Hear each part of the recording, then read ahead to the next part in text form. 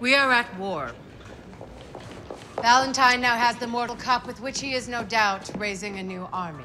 And one of our own has joined him. Looks like the Queen's taking back her kingdom. As a result, the Clave has declared a state of emergency at the Institute.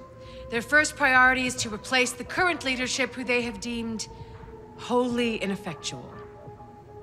It is an honor to introduce the newly appointed head of the New York Institute, Clave Representative Victor Aldertree.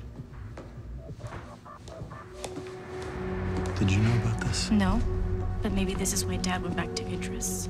Maryse went behind my back. My fellow Shadowhunters, it's an honor to be here with you all.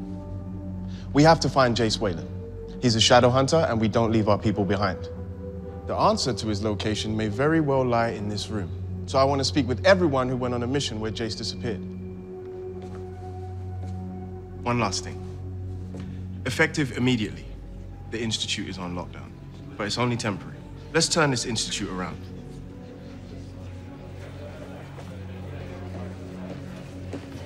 Wait, if we're on lockdown, who's out there looking for Jace? We'll think of something. Don't worry, Jace is tough. Valentine will never